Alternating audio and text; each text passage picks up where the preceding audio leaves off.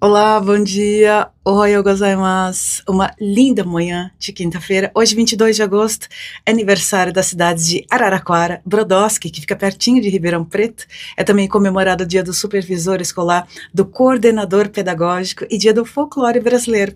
Bom, eu não sei vocês, mas quando eu ouço a palavra folclore, imediatamente na minha cabeça vem a infância. Quando era criança, a gente assistia desenhos da Looney Tunes e no final aparecia uma vinheta escrita That's all folks. Vocês se lembram? Então vamos lá. Folk significa povo, pessoas. E no desenho falava, né? É isso aí, pessoal.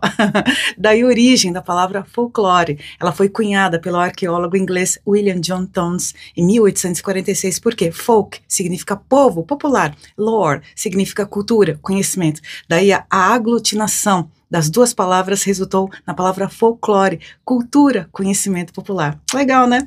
E o folclore brasileiro é muito rico, tem muitos elementos da nossa cultura, personagens, lendas, danças, ritmos. Então a pergunta é: qual é a coisa do folclore brasileiro? Pode ser festa, gente, samba, carnaval, festa junina, frevo, pode ser pipa, literatura de cordel, é, pode ser lenda também, né? Curupira, boto, iara, saci. Qual é o elemento do folclore que mais despertou a sua curiosidade? Me conta aqui